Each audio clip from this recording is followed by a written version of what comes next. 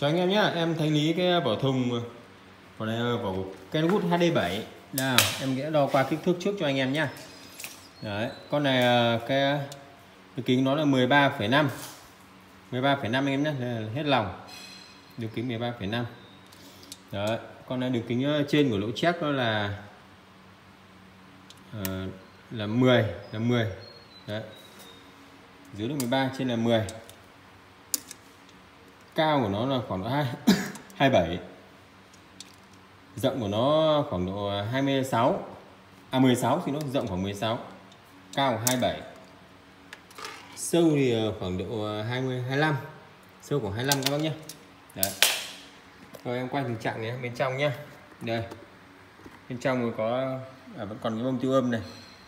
Lỗ thông hơi này. Đấy. chạm loa phía sau thì tháo rồi anh em nhé. Đấy đây, em quay luôn. Vỏ này thì không được đẹp lắm, cái căng thì đầy đủ. Chắc chắn dày dặn cực kỳ luôn anh em nhé. Cái này có vết bẩn, anh em về vệ sinh nhé. Đấy. Đấy. cực kỳ chắc chắn và và ấy luôn. Và nặng luôn, dày dặn luôn.